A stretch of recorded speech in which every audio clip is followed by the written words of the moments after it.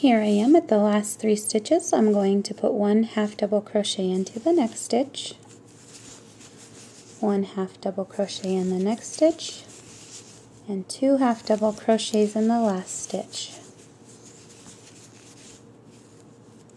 Oops. At this point, your circle should be just a little bit bigger than the base of the candle.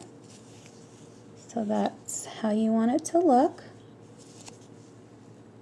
And now this is the end of row two, three, four. You're at the end of row four. You're going to continue to crochet to row 20 and all you're going to do is just be putting one half double crochet in each stitch around.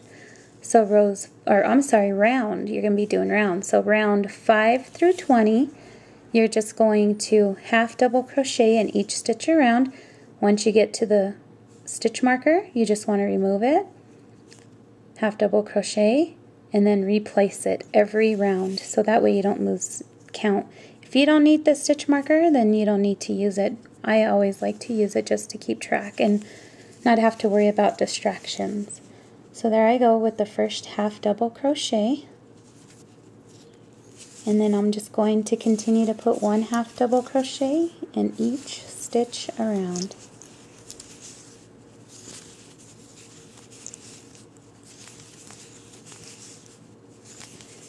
Okay, so we're on round 5. Go ahead and work rounds 5 through 20 continuing with just one half double crochet in each stitch, moving the place marker or the stitch marker, and I will meet you at the end of round 20. Here I am at the last two, two stitches on round 20. I can tell that it's coming out too short and I'm going to stick my candle in and I'm about this short so I'm going to crochet about five more rows.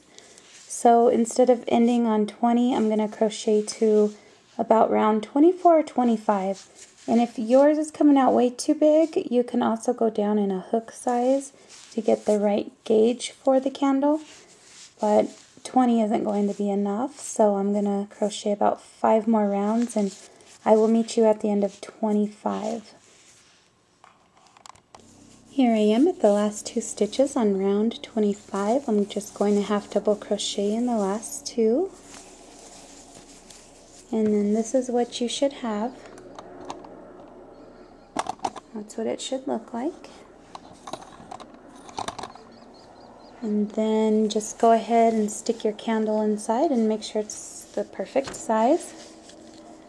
You do want it to be a little bit longer than the top of it right there. You can see that. It's just a little bit longer. And then what you're going to do here is grab one of your rubber bands, and it really don't matter what color, because you're just going to crochet over it. So in the next stitch, you just want to pop out the stitch marker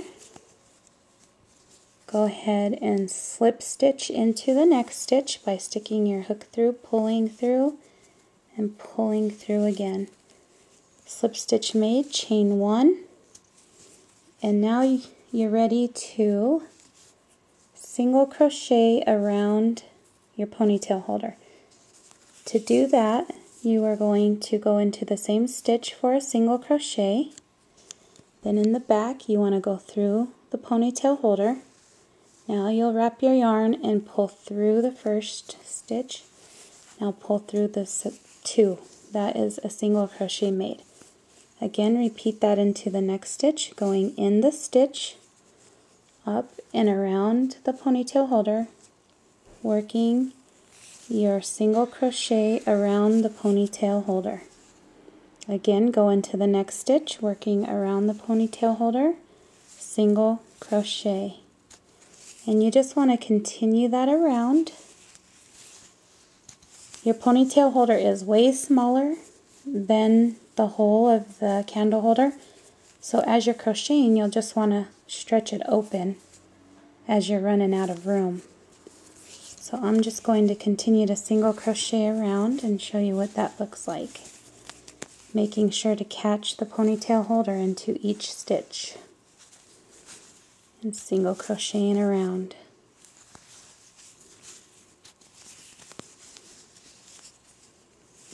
Just continue around and as you can see it looks like I'm already running out. I'll just keep pulling it as I'm crocheting and working around the ponytail holder. Single crochets.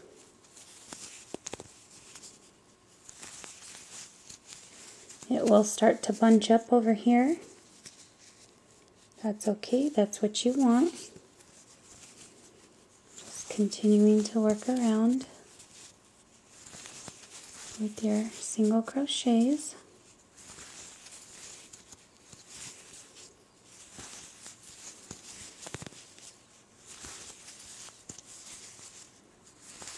And as you can see here, I still have a lot left and a little bit of ponytail holder. I'm just going to keep pulling the ponytail holder to make it bigger. And then just continue to work around.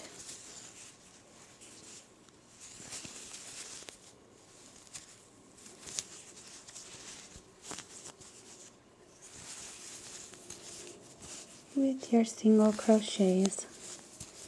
And just continue that and I will meet you at the last few stitches. Go ahead and pause it now. Here I am at the last three stitches. I'm just going to single crochet around them. I'm mm, continuing to single crochet in the little bit of ponytail holder I have left. And one more stitch. And then you just want to join. I will join to the stitch here.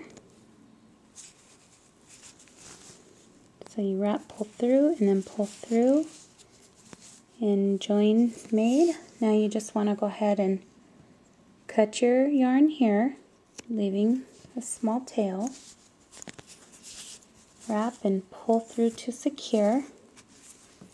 Now you just want to grab your uh, yarn needle, thread that, and then you're going to weave in this tail.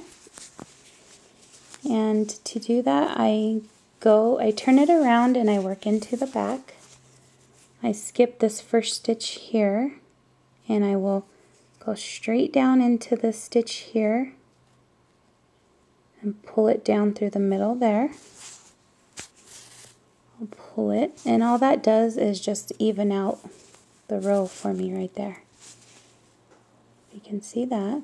It's okay if you see the ponytail holder on this side since it is the inside of it. Then I'm just going to go ahead and run this around the stitches here where the ponytail holder is and pull it through a few stitches.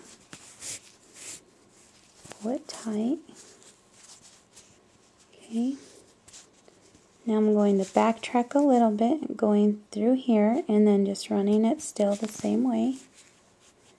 That just secures it in a little bit better. Pull the tail piece through. And then one more time, just backtrack a little bit, going in through here, weaving it through a few stitches. There. You have it mostly tucked in all the way. Then I'm just going to cut off this little bit of tail that's left here. Then just get your candle and slide your candle through there, stretching the rubber band open so it could fit. Slide your candle through. Now I like to make mine longer than the candle that way when I'm not using it, it's closed off up here. But then when you want to use it, don't forget to just pull this down. And this is why I add the rubber band because it secures to the top of the candle. So if you could see that, that's the way it looks like. And then if you're not using it, you just pull it up over and that's the way it looks when you're not using it. And then just when you go to light it, pull it down. keep it there, that way the fire's not on it.